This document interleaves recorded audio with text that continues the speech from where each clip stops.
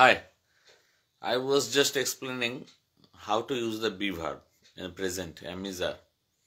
So you all know that uh, the uses of amizer it is basically am I is followed by am and then you always followed by are and then in other cases if the subject is singular then it is is and another, and if the subject plural then are আপনারা সবাই জানেন, I এর সাথে সবসময় M এর ব্যবহার হয়, you এর সাথে সবসময় আর এর ব্যবহার হয়।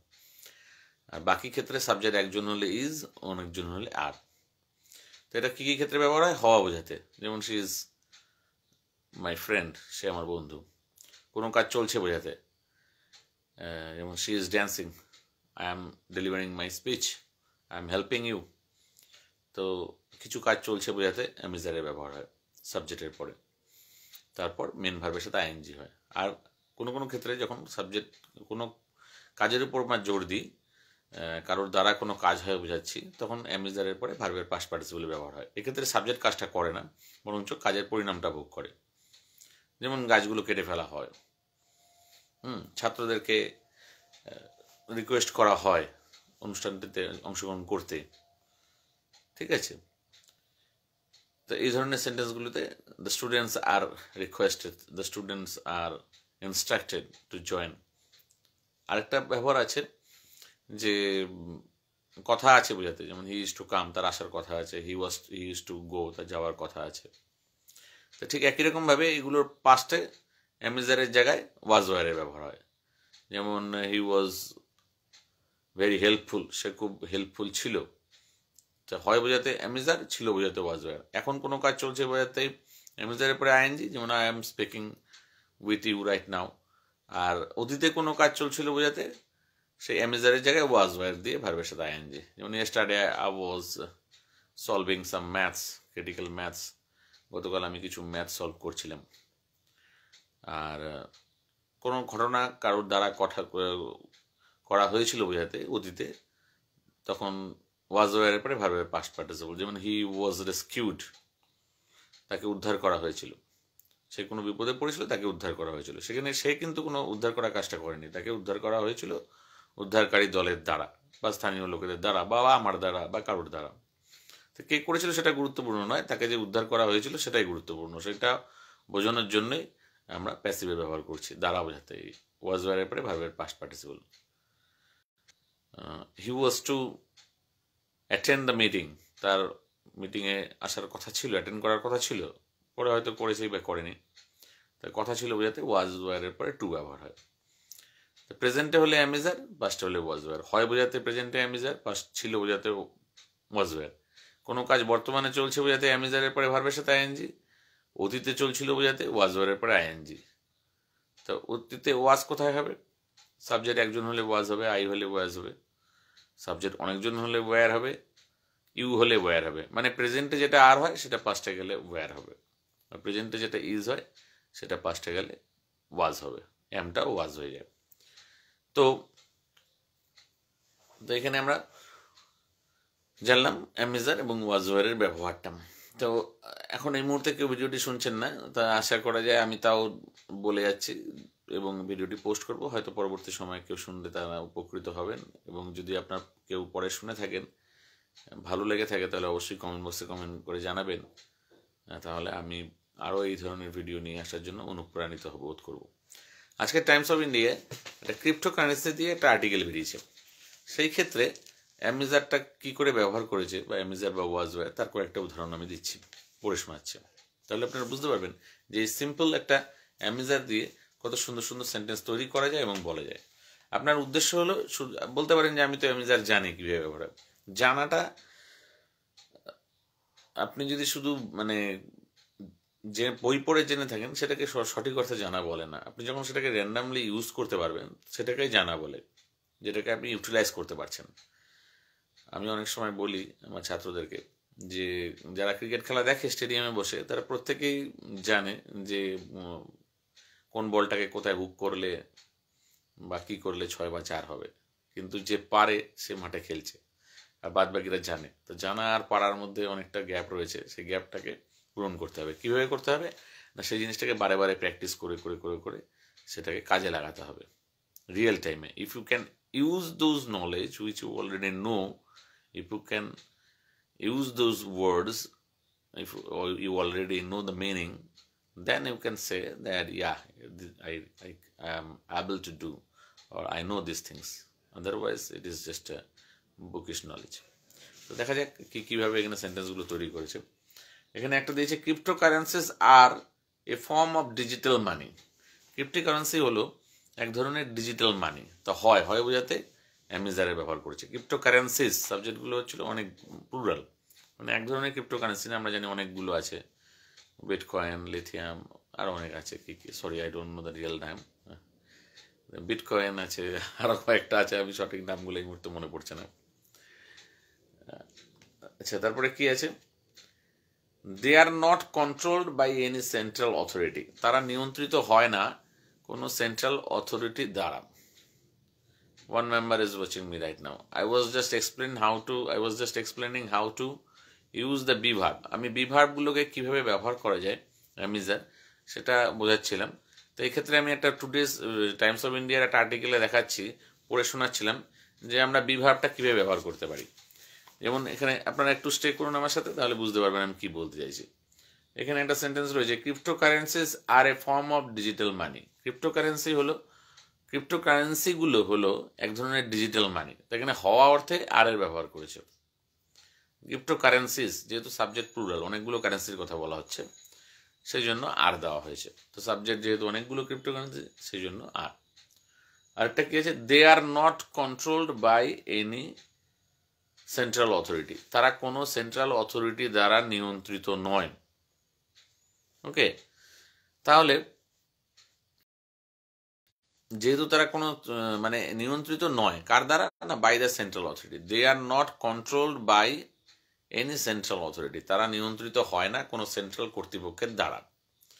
তো এখানে আসলে যে কাজটার উপর আমরা জোর দিতে চাইছি যে দে আর নট কন্ট্রোল তাদেরকে নিয়ন্ত্রণ করা হয় না সরকারের দ্বারা, কোনো কেন্দ্রীয় সরকারের দ্বারা, কেন্দ্রীয় কর্তৃপক্ষের দ্বারা। তো সাবজেক্ট মেন যে সাবজেক্ট কন্ট্রোল করা কাজটা যে করবে সেন্ট্রাল অথরিটি সে তাকে সেন্টেন্সের শেষে উল্লেখ করা হয়েছে। আর এখানে মেন সাবজেক্ট আর আসলে বলতে এখানে সেন্টেন্সের সাবজেক্ট হলো দে তারা নিয়ন্ত্রিত হয় না। তারাটা কারা? ওই ক্রিপ্টোকারেন্সিগুলো তো ডেটা কিন্তু এই নিয়ন্ত্রণ করা কাজটা করে না। বরঞ্চ তাদেরকে নিয়ন্ত্রণ করা হয় না, অন্য কারোর দ্বারা সেন্ট্রাল অথরিটির দ্বারা। তো এরকম দ্বারা সেন যে সেন্সটা রয়েছে, যেখানে আমরা মানে আসলে যে সাবজেক্টটা কাজটা করে, তাকে সেন্টেন্সের শেষে বাই দিয়ে উল্লেখ করি, অথবা বলি না। দে আর নট কন্ট্রোল তাদেরকে নিয়ন্ত্রিত করা হয় না। শুধু এটুকুনি বলেও ছেড়ে দিতে পারি। সেই সব ক্ষেত্রে অ্যামেজারের ব্যবহার করা হয় প্যাসিভে as crypto is not issued by any institution যেহেতু ক্রিপ্টো কোনো প্রতিষ্ঠান দ্বারা ইস্যু করা হয় না as crypto is not issued by any institution and is not supported by any guarantee এবং এটাকে সাপোর্ট করা হয় না কোনো গ্যারান্টির দ্বারা it is considered a threat to the financial system এটাকে একটা ফিনান্সিয়াল সিস্টেমের থ্রেড হিসেবে ধরা হয়। ভালো করে খেয়াল করে দেখুন, প্রথম সেন্টেন্সটাতে crypto is not issued by any institution ক্রিপ্টোকে issue করা হয় না কোনো ইনস্টিটিউশনের দ্বারা। ইনস্টিটিউশন বলতে এখানে সরকারি ইনস্টিটিউশনের কথা বলা হচ্ছে। যেমন আমরা জানি যে আরবিআই বা ব্যাংকস এরা নিয়ন্ত্রণ করে কারেন্সিগুলো এরা টাকা ছাপায়, এরা সরকারের এদেরকে অধিকার দিয়েছে নোট পাবলিশ করার। তো এই ক্ষেত্রে কিন্তু সরকারের কোনো নিয়ন্ত্রণ নেই। তাই কারোর দ্বারা করা হয় না। আসলে কাজটার উপর জোর দিচ্ছি আমরা যে করা হয় না। কার দ্বারা না কোনো ইনস্টিটিউটের দ্বারা। তো এরকম দ্বারা অর্থে যখন ব্যবহার করি, তখন অ্যামেজার দিয়ে ভার্বের পাস্ট পার্টিসিপল ব্যবহার করি। Is not supported by any guarantee এবং এটাকে সাপোর্ট করা হয় না কোনো গ্যারান্টির দ্বারা। তো এক্ষেত্রেও দেখুন, কার দ্বারা? গ্যারান্টির দ্বারা। যার দ্বারা কাজটা করা হয়, তাকে সেন্টেন্সের শেষে উল্লেখ করা হচ্ছে। তো এই ধরনের সেন্টেন্সগুলোকে প্যাসিভ বলা হয়। আমাদের যতদূর আমার জানা আছে যে আমাদের যেই পরিমাণ টাকা মার্কেটে ছাড়া হয়, তার সমতুল্য একটা সিকিউরিটি আরবিআইতে জমা রাখতে হয় বা গোল্ড জমা রাখতে হয়। তার একটা মাপকাঠি আর কি, যে এত টাকা মার্কেটে ছাড়া হচ্ছে, সেই হিসেবে এত টাকা সিকিউরিটি থাকে। সেটার সাথে তুলনা করে মার্কেটে টাকাটা ছাড়া হয়। তো এই ক্ষেত্রে সেরকম কোনো ব্যবস্থা নেই। তাই এটাকে it is considered a threat to the financial system এটাকে ভাবা হয়, একটা থ্রেট বলে। এটাকে ভাবা হয়। তো এটা হচ্ছিল সাবজেক্ট ইট ভাবাটা ছিল কাজ। কিন্তু এটা কিন্তু ইট কিন্তু ভাবা কাজটা করছে না। এটাকে ভাবা হয় একটা থ্রেট কারোর দ্বারা? কার দ্বারা? না সরকারের দ্বারা বা পাবলিকের দ্বারা বা আমাদের দ্বারা বা সবার দ্বারা? তো কার দ্বারা ভাবা হয়? এটা সেটা গুরুত্বপূর্ণ নয়। ভাবা হয় কাজটা গুরুত্বপূর্ণ। আমি সেখানে জোর দিতে চাইছি। তো এই ধরনের সেন্টেন্সকে যেখানে সাবজেক্টটা নিজে কাজ করে না, কাজের পরিণামটাকে ভোগ করে মানে এটাকেই ভাবা হচ্ছে। অন্য কারোর দ্বারা। কি? না নট সেফ সেসব ক্ষেত্রে এই ধরনের অ্যামেজারের পরে ভার্বের পাস পার্টিসিপলে ব্যবহার করা হয়। আরও কয়েকটি সেন্টেন্স বলছি। The government is also concern about money laundering and terror financing as crypto enables anonymous cross border transactions এখানে বলেছে যে government is also concern government চিন্তিত। কিছুর দ্বারা। কার দ্বারা? না, এই ক্রিপ্টোকারেন্সির দ্বারা বা ক্রিপ্টোকারেন্সির লেনদেনের দ্বারা। তো সেটা সবাই বুঝতেই পারছে এই সেন্টেন্সটিতে সেই জন্য এখানে সেটা উল্লেখ নেই। তো এখানে গভর্নমেন্ট কিন্তু চিন্তা করা কাজটা করছে না। গভর্নমেন্ট চিন্তিত হয় কোনো কিছুর দ্বারা। কার দ্বারা? না, এই ক্রিপ্টোকারেন্সির রিসেন্ট ক্রিপ্টোকারেন্সির ট্রানজ্যাকশনের দ্বারা। তো এই ধরনের সেন্টেন্সের ক্ষেত্রে অ্যামিজারের পরে দেখুন ভার্বের পাস পার্টিসিপলের ব্যবহার রয়েছে। It was a difficult time not only fin not only financially but also socially এটা একটা কঠিন সময় ছিল। তাহলে কি বললাম? হয় বোঝাতে অ্যামিজার ব্যবহার করি, আর ছিল বোঝাতে ওয়াজওয়ারে ব্যবহার করি। তো এখানে তাই করা হয়েছে ইট ওয়াজ এ ডিফিকাল্ট টাইম আরেকটা সেন্টেন্সে বলেছে the virtual currency was worth less than one thousand dollar যখন শুরুতে ভার্চুয়াল কারেন্সি শুরু হয়েছিল, এক বছর আগে, তখন এটার মূল্য ছিল এক হাজার ডলারের কম। ছিল। তো হয় বোঝাতে ইজার ছিল বোঝাতে was were it is similarly regulated in many other countries এটা একই রকমভাবে নিয়ন্ত্রিত করা হয় অন্যান্য অনেক দেশে। এটা একটা অন্য প্যারাগ্রাফের মধ্যে রয়েছে, যেটাকে নিয়ন্ত্রিত করা হয় অন্যভাবে মানে অ্যাসেট হিসেবে ভাবা হয়, যদিও বা কারেন্সি হিসেবে ভাবা হয় না। তো নিয়ন্ত্রিত হয়, আমি গ্রামারের দিকে জোর দিচ্ছি, আমি পুরো প্যারাগ্রাফটা পড়ছি না। নিয়ন্ত্রিত হয়, কারুর দ্বারা। কার দ্বারা? না, অন্য দেশের সরকারগুলি দ্বারা। They are not backed by any guarantee এগুলো কোনো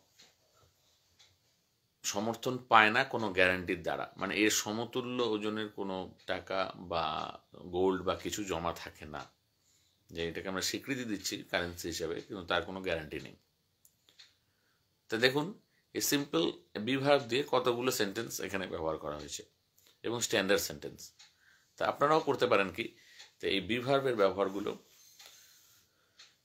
আপনারা শুরু করতে পারেন। যত রকম পারেন সেন্টেন্স তৈরি করতে পারেন। লাস্ট অফ অল আমি শেষের দিকে একটা জিনিস বলতে চাইছি যে একদম সম্পূর্ণ ধারণাটা ক্লিয়ার করতে চলছে বোঝাতে ব্যাপারটা তো খুব সিম্পল সহজ। হয় বোঝাতে আমি যার এটা খুব সহজ। যেমন, সে he is my friend they are my friends তারা হয় আমার বন্ধু, তারা সে সে হয় আমার বন্ধু। তারা ছিল আমার বন্ধু they were my friends he was my friend সে আমার বন্ধু ছিল। তো হয় বোঝাতে অ্যামিজার ছিল বোঝাতে ওয়াজার এরপরে কোনো ভাব থাকবে না। চলছে বোঝাতে অ্যামিজারের পরে ভার্বের সাথে ING I am walking I am running she is helping me সে আমাকে সাহায্য করছে। দে আর ওয়াচিং টেলিভিশন তারা টেলিভিশন দেখছে। They are watching cricket match তারা ক্রিকেট ম্যাচ দেখছে। আর দেখছিল হলে দে ওয়ার ওয়াচিং ওকে তা চলছে বোঝাতে অ্যামিজারের পরে আইএনজি চলছিল বোঝাতে ওয়াজওয়ার ওয়াজওয়ারের পরে আইএনজি আর কোনো একটা কাজ কারোর দ্বারা করা হয় বোঝাতে অ্যামিজারের পরে ভার্বের তিন নম্বর রূপ পাস পার্টিসিপল আর করা হয়েছিল বোঝাতে, ওয়াজওয়ারের পরে ভার্বের পাস পার্টিসিপল ঠিক আছে? এখানে একটা সিম্পল একটা উদাহরণ দিচ্ছি আপনারা তারা বুঝতে পারবেন যে অ্যামিজারের মধ্যে ফারাকটা কি।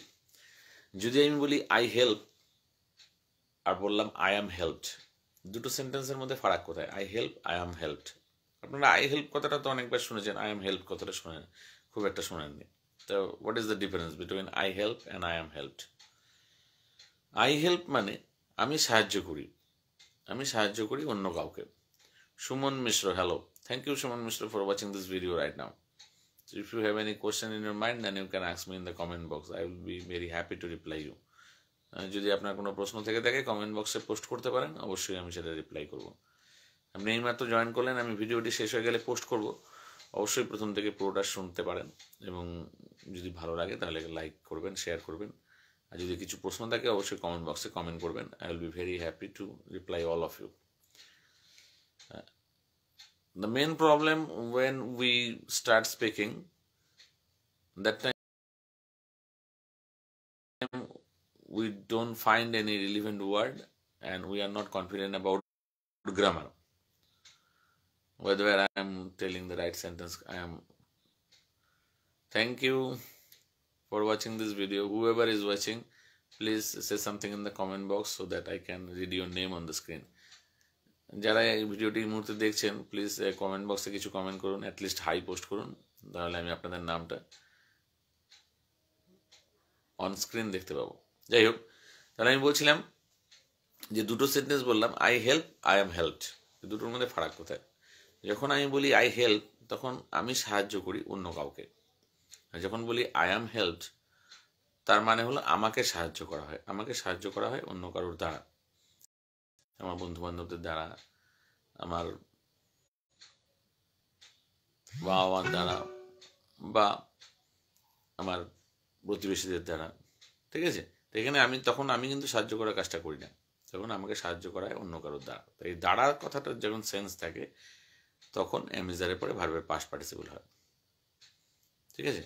আর না বোঝালে করা হয় না বোঝালে তখন অ্যামিজারের পরে নট দিয়ে ভার্বের পাস পার্টিসিপল যেমন এই ক্ষেত্রে আমি কতগুলো সেন্টেন্স পড়ে শোনালাম যে cryptocurrency as crypto is not issued by any institution and it is not supported by any guarantee it is considered a threat to the financial system এই সেন্টেন্সটিতে বলা হয়েছে যে যেহেতু Suman Mishra hi thank you Suman. হ্যাঁ Suman Mishra I can read your message so you side hi and hello okay thank you তাহলে এখানে বলা হয়েছে, যেহেতু ক্রিপ্টোকারেন্সি ইস্যু করা হয় না সরকারের দ্বারা, কার দ্বারা না সরকারের দ্বারা? এরকম দ্বারা যে আসলে সাবজেক্ট তাকে লাস্টে সেন্টেন্সের শেষে বাই দিয়ে উল্লেখ করি। সেই সব সেন্টেন্সে বা হয়তো উল্লেখ করি না, বাদই দিয়ে দিই। হ্যাঁ যেখানে আমরা কাজের উপর জোর দিই, সেই ক্ষেত্রে আমরা সাবজেক্টের পরে outstanding presentation sir i don't know whether it is outstanding or not but i was just trying to help all of you guys that if you are confident enough about the basics of english grammar so i think you can speak anytime with anyone so that is what i was trying তো আমরা কথা বলার সময় অনেক সময় শব্দর অভাব উপলব্ধি করি যে আমাদের শর্ট যেটা বলতে চাইছি সেই ওয়ার্ডটা মাথায় আসছে না আর আমাদের গ্রামার নিয়ে আমাদের ভয় থাকে যে আমরা সঠিক সেন্টেন্স বলছি কি বলছি না। তো প্রচুর নিয়ম শেখার কোনো দরকার নেই, প্রচুর গ্রামারেরও দরকার নেই। বেসিক নিয়মগুলো যদি আমাদের কাছে পরিষ্কার থাকে, তাহলে আমরা কনফিডেন্সের সাথে কথা বলতে পারি। Okay thank you for watching this video for so long if you have any question then please let me know please comment in the comment box and I will be happy to reply you in my next video. Thank you.